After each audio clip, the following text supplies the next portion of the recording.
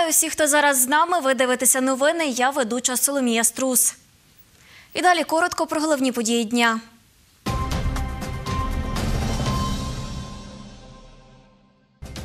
У Кременці вбили 65-річного чоловіка і підпалили його дім. На тілі поліцейські виявили 80 ножових поранень. Безкоштовно перевіритися на ВІЛ-інфекцію мали можливість тернополяни під час акції до Дня боротьби зі СНІДом. Як на Тернопільщині працевлаштуватися людям з інвалідністю, з'ясовували наші кореспонденти. Тернопільські актори записали відеозвернення на підтримку головного режисера Львівського театру Федора Стригуна.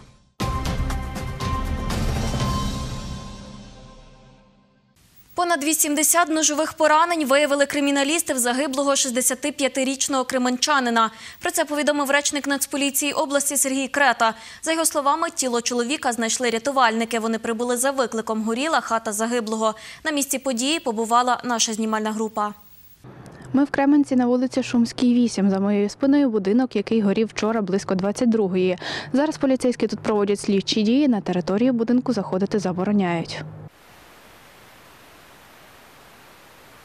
Речник Нацполіції області Сергій Крета розповів, що на місце події виїжджали криміналісти, судово-медичні та пожежні експерти. Поліцейські встановлюють особу причетну до смерті кременчанина, опитують сусідів, з'ясовують, з ким загиблий спілкувався.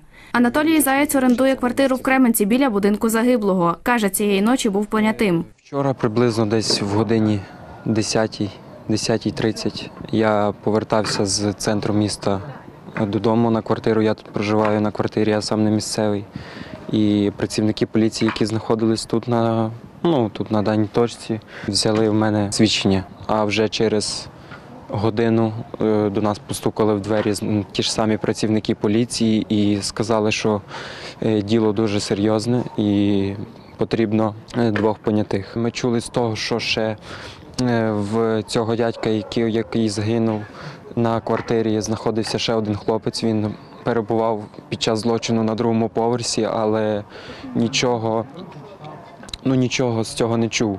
Е, Нам розказали працівники міліції, що зробили допит з нього і сказали, що він був в наушниках і не чув, що коїлось знизу. Він розказує е, їм, що е, почув дим, тобто чат, не міг дихати, і він спригнув з другого поверху. Речниця пожежно-рятувальної служби області Ірина Крупа розповіла про пожежу в будинку загиблого. Горіли речі домашнього вжитку в кімнаті. Загальна площа пожежі становила 10 метрів квадратних. Під час гасіння вогнеборці врятували громадянина 2003 року народження. Також в будинку виявили тіло чоловіка, власника домогосподарства. Пожежу ліквідували о 23.42. Діана Ярошенко, Марта Журавель. Новини на Суспільному. Тернопільщина.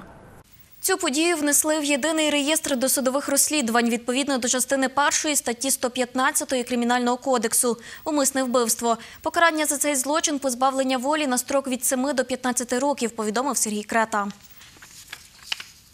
Безкоштовний тест на ВІЛ-інфекцію пройшли 20 осіб під час акції до Всесвітнього дня боротьби зі СНІДом. Усі результати негативні, розповіла лікарка-методистка обласного центру громадського здоров'я Галина Зот. Захід відбувався у Тернополі з 12 до 14 години. Ми зараз знаходимося біля пам'ятника Івану Франку. Тут у білому наметі розповідають про акцію, а у кареті швидкої допомоги роблять анонімні тести на визначення ВІЛ.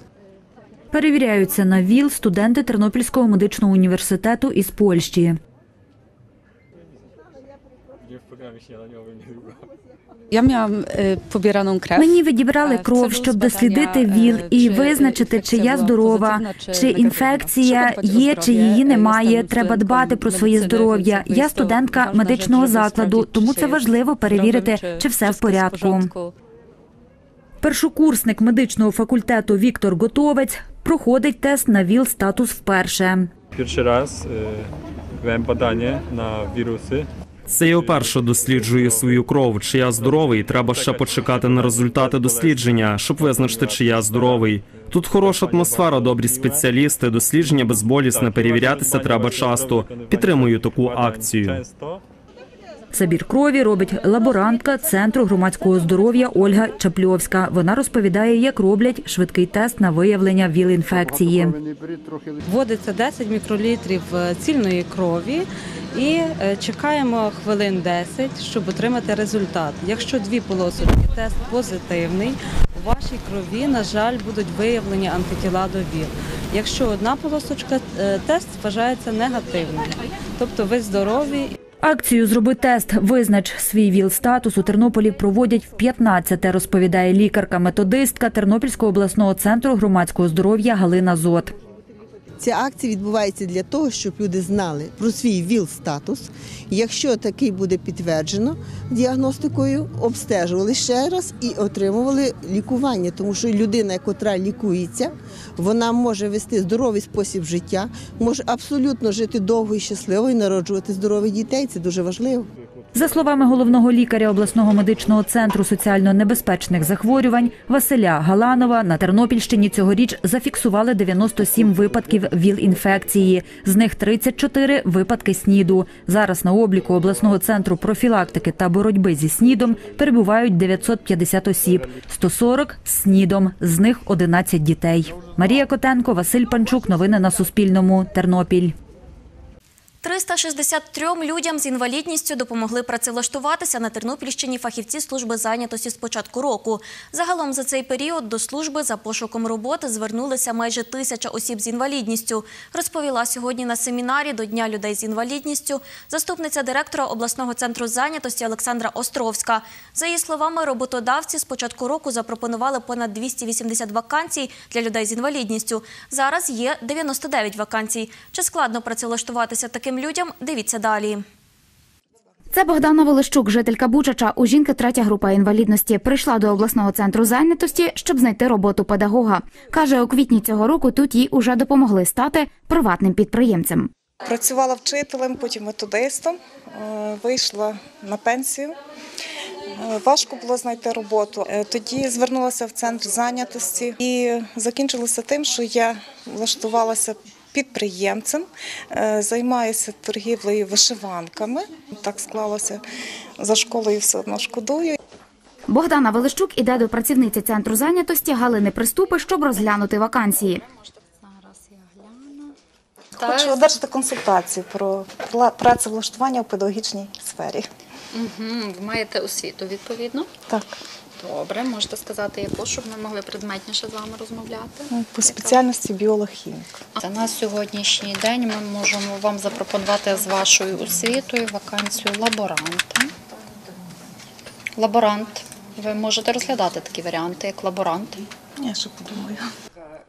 Заступниця директора обласного центру зайнятості Олександра Островська каже, люди з інвалідністю не завжди можуть знайти саме те робоче місце, яке хочуть. Що в такому разі робить служба зайнятості? Е, Наші фахівці, які працюють з роботодавцями, е, маючи інформацію про людину, вони десь дивляться, де така професія чи спеціальність може використовуватись, чи, чи, чи є такі вакансії на такому підприємстві. Телефонують до роботодавця, спілкуються, пропонують, презентують цю людину. Якщо десь е, є таке вже ну і бажання роботодавця, і можливість роботодавця працевлаштувати, і є в нього така потреба, то тоді організовують зустріч е, людини з роботодавцем для того, щоб було спілкування, чи можуть надіслати резюме. Мар'яна Смеречук, представниця приватного підприємства, яке займається встановленням опалення. Вона повідомила працівників обласної служби зайнятості, що на підприємстві, де вона працює, зараз є вакансії для людей з інвалідністю. Ми готові запропонувати інженера, інженера-проєктувальника е, по дві вакансії. Людина, щоб мала навики, щоб знала, що робити. За словами інспекторки з кадрів Тернопільського вищого професійного училища номер 4 імені Михайла Паращука Галини Кравець, у навчальному закладі є 123 працівники, з них 12 – особи з інвалідністю. Вони нічим люди з інвалідністю, ці працівники не відрізняються від е, людей, які працюють, е, ну я б сказала, такі здорові, молоді, здорові. З них навіть 4 чи 5 чоловік відмінники освіти. Лариса Котовська працює в училищі керівницею фізичного виховання. У жінки третя група інвалідності. Вона розповідає, чи створені у закладі умови для роботи людини з інвалідністю. Умови нормальні, все в нормі, тому праця приносить е, радість. Йдуть на зустріч людині. Ну, є в людини, буває, що потрібно і десь її підстрахувати, десь їй піти на зустріч. За словами Олександра Островської, на сьогодні працівники обласної служби зайнятості шукають роботу ще для 381 людини з інвалідністю. Ірина Терлюк, Андрій Бодак. Новини на Суспільному. Тернопіль. Тисячу інформаційних листівок роздали сьогодні волонтери під час акції Небезпеку видно не одразу. Повідомила співорганізаторка заходу Оксана Шуль.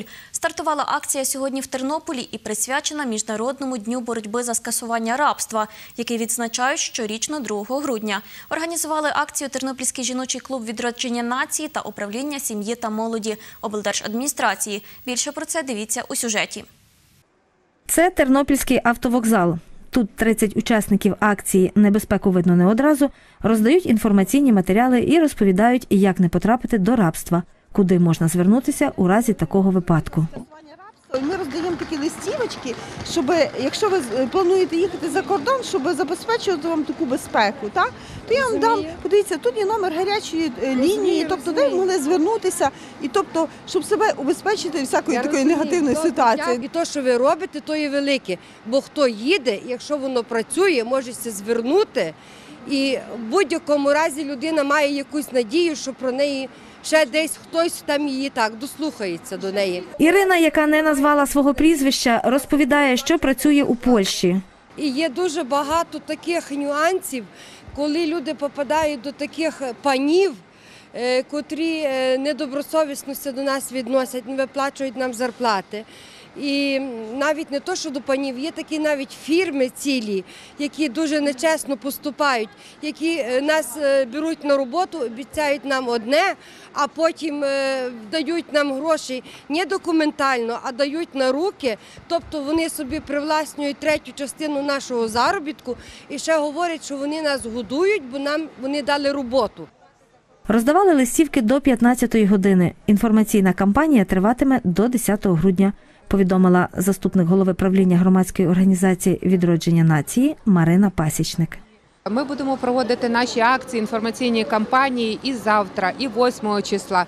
І в учбових закладах будуть проводені інформаційні сесії для якомога більшої кількості учнівської молоді, молодих людей, для того, щоб вони все більше ознайомувалися з ситуацією торгівлею людьми і не потрапляли подалі е, в таку ситуацію, якщо вони збираються або виїхати за кордон, або залишитися в Україні. І треба знати, як працювати легально, як працювати правильно для того, щоб не потрапляти в такі нехороші ситуації. Світлана Лазорик, Оксана Галіяш. Новини на Суспільному. Тернопіль.